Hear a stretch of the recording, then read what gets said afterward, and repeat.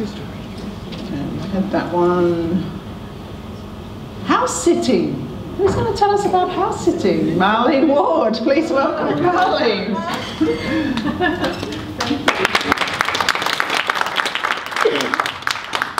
When I arrived in Australia three years ago, I learned that quite often you can have more than one job. So apart from training that I do, I have done some house and pet sitting. Well, no, once. I've just returned yesterday from seven days on a three and a half acre plot in Mundaring.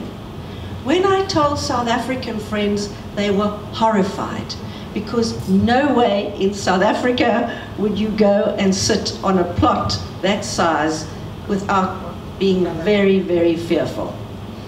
Nevertheless, I arrived at this plot to look after two Labradors, eight hens, or I don't know, hens, they were chooks, hens, and a very old man who, a lovely old man who's dying of cancer.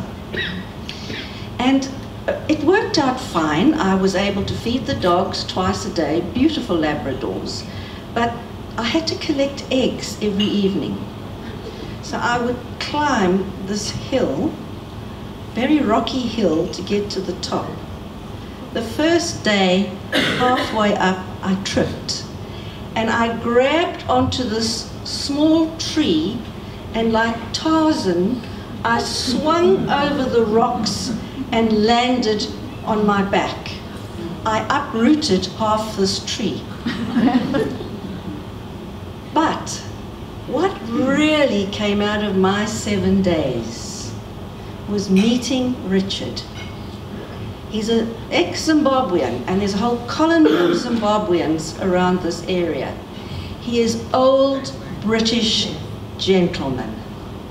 And he and I had wonderful talks. We shared books. I met some of his friends. I took him out for tea. He can no longer drive.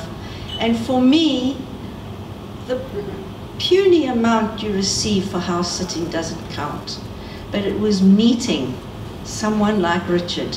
And I'll be going up into the hills again to have tea with my new Zimbabwean, ex-Zimbabwean buddy, Richard.